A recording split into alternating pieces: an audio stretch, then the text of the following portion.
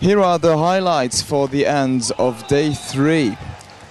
In the men's volleyball, Montenegro played Turkey in their Pool B preliminary match. Turkey won three sets to one.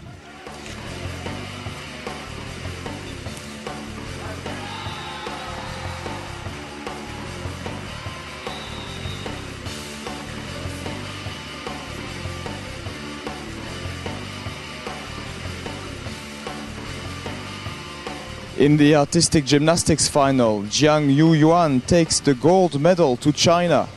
He Ning of China takes the silver.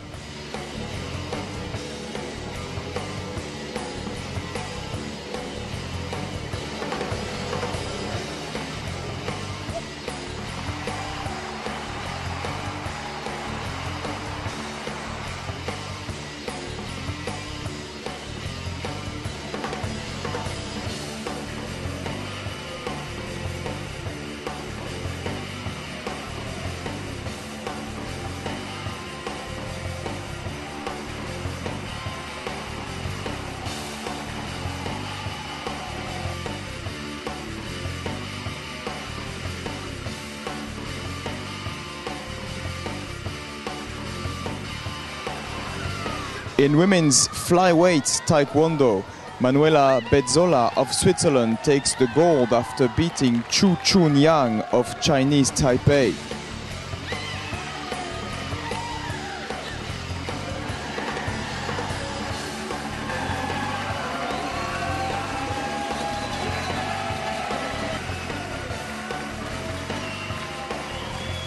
In the men's welterweight taekwondo, Ruola Talebi Kanji of Iran pockets the gold after beating in the final Russia's Sergei Dosortsev.